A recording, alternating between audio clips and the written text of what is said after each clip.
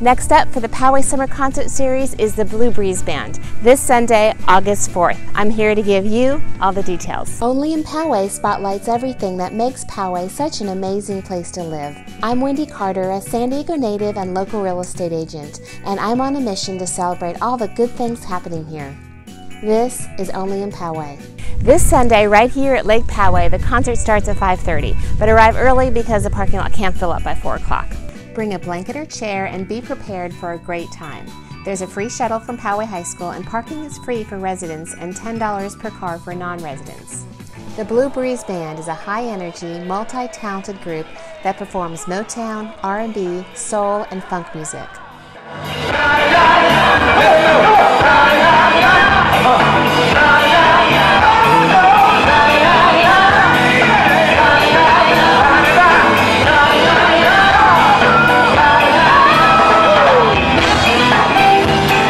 Food trucks should be here, but another idea is to bring a picnic.